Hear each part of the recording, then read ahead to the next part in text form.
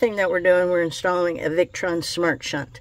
And on the Dragonfly batteries, the, the, um, the diameter of the terminal on the Dragonfly battery is 3 eighths of an inch, which is the exact um, diameter of the bolts that are used with the Smart Shunt. So this can actually mount right on to the negative terminal of the battery. And then all of our, uh, all the other negatives, like the main coach negative, is connected to this end. And I'm going to have another negative when I hook up the switch for his battery heater. So I'll be sliding that on, but I'm not going to tighten that for now until I see how everything's going to fit. So now we are ready to put in the Dragonfly, the other Dragonfly battery, and uh, we'll see how it all fits. So I'll be back with that. All right, we got the battery in fine. Um, so our grounds are pushed back on the back wall. Our positives are um, pushed up here. I did have to move this wire out of the way, um, but that's actually going to work better because now I can just twist it and connect it to the positive terminal like I need to. Um, so now we have the task of putting the jumpers um, across the battery. So positive to positive, negative to negative. And then, um, like I said, the coach positive goes on this positive, and I already have the coach negative on the opposite battery negative. So, um, and then I've got to hook up the, I made a little switch for his um, battery heaters. So that's going to be nice. Um, so we got to hook up those as well. And don't let me forget to put your solar fuse back in. Oh, and I do have to hook up the positive, or the power cable for the, um, uh, the shunt. And here's a little, that's the installation guy. I don't think you need that. Okay, so uh, we will get, get on with that and we'll come back. Okay, so we got everything, we got everything connected now. I will just go ahead and do a few zip ties to tidy this up. But um, I've got the battery heaters uh, I've got the battery heaters hooked, power for the battery heaters. I made a little switch so we can have it hooked. Um, uh, this is just double-sided tape. And when he wants the battery heaters, he just flips it on. And he has a little light so he knows it's on. And uh, so you want to, like I said, you want to turn this on whenever the outside temperature is going to be less than 35. Because you don't want to uh, discharge or charge a lithium battery below freezing. So whenever it's 35 degrees, flip the battery heaters on and uh, they will use one amp per hour and I'm not sure if it's one amp from each battery if that's two amps you know I'm not really that familiar with Dragonfly um, but bottom line it's going to use one or two amps per hour to keep the batteries heated between 35 and 40 degrees. So that means when you're cold weather, and that it will do that down to a temperature of minus four, I believe. Mm. Um, I know Lithionics is minus four, so I don't, but I don't know what Dragonfly is, but I'm, I'm guessing it's, it's got to be fairly similar. Um, so yeah, so I mean, so you can definitely cold weather camp with these batteries and, um, uh, the battery heaters will keep keep them uh, at a temperature where you can't damage them while you're camping and using them. Okay, so um, we have, like I said, we have both batteries connected in parallel, uh, black to black, red to red. And then we have the coach red cable from the Mega Fuse connected to one, uh, to the red positive terminal on one battery. And then we have the coach negative, which runs under here and connects to the uh, system side of the shunt um, which is the opposite negative, the negative from the other battery. So you connect to the negative of one battery and the positive of one battery to make your coach connection. Okay, and uh, we've got a little power cable here for the um, um, for the shunt, and you can't see it. You might be able to see it, but there's a little blue light flashing. That tells you the shunt is working. Okay.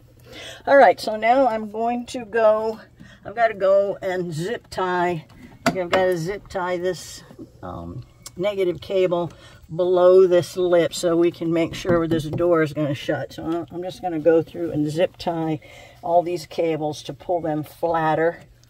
Um, and then this, uh, this is this closed fine, so that will be fine. And uh, we will be done with our batteries. And then we're going to move. Okay, so I've got everything zip tied. Uh, lid closes fine now. And we are going to do uh, the Victron Smart Shunt setup. All right, so you called up uh, the Victron Connect app. Is that it? Oh, okay, yeah. Oh, so you've already gone, have I, you? I downloaded it. Oh, you've already gone through your, um, did you put in your PIN number and all that? I don't. Okay, No. all right, so hit the Smart Shunt.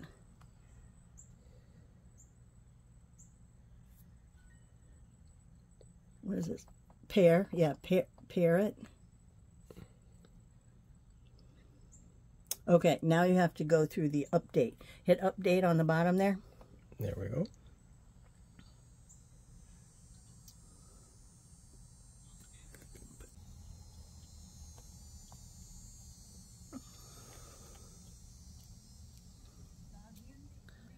Okay, continue. All right, hit that smart shunt. Oh wait, is, is okay? Yeah, hit that again. Hit smart shunt again.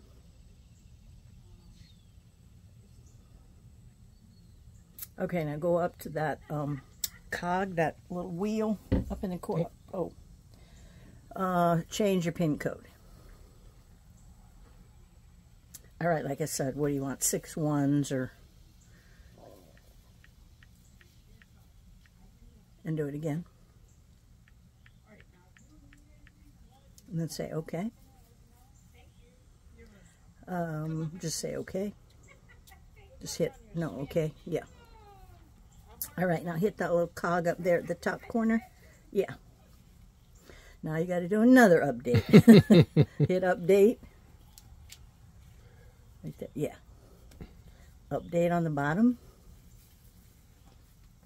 Oh, uh, enable, oh, this is instant readout, and you definitely want this, so hit enable now. And hit update. That enable instant readout, what that does is it gives you a little, a little blip of data without actually having to open, Open the the app. app. So when you first open the your Connect, your Victron Connect screen, your smart shunt is going to show up and then that new battery charger that we're going to um, put in those will show up with a little bit of data. So you, that might be good enough you don't even have to open them up. It's kind of handy you know because you get it at a glance without having to you know open each one up.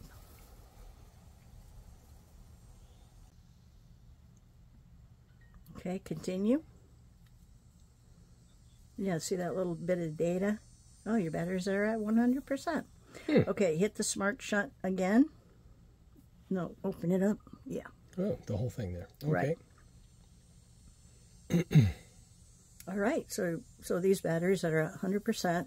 And like I said, these came out of a 2021 Unity, so they are fairly new. Hit your little cog up there at the top. Now we'll do the settings.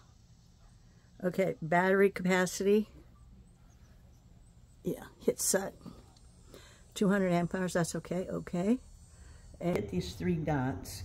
You can go to the product info. Um, and you want to you want to uh, enable instant readout. You want to make sure that's enabled, and you can put a custom name. So in this case, I'm going to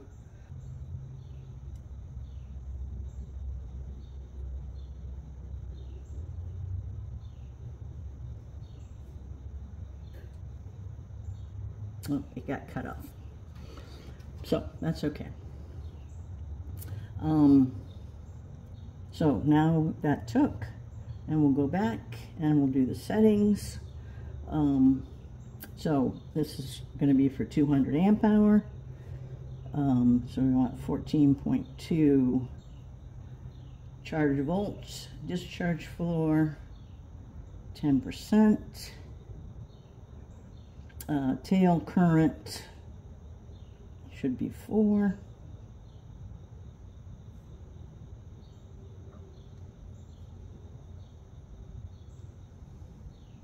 Oops.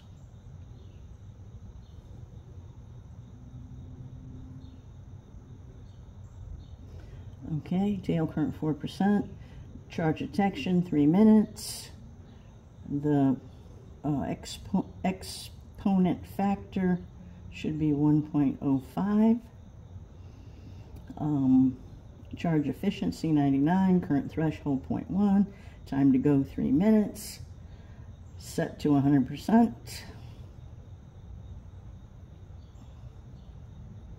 And then um, alarm Um, we can leave that, that's okay. Miscellaneous, auxiliary input none, that's what we want. Um, so, we're done with that. And this is what happens if you enable um, live data, then you get this snippet of battery information without even having to open the app. So that's good to enable live data as I showed you. Okay, so now we're done.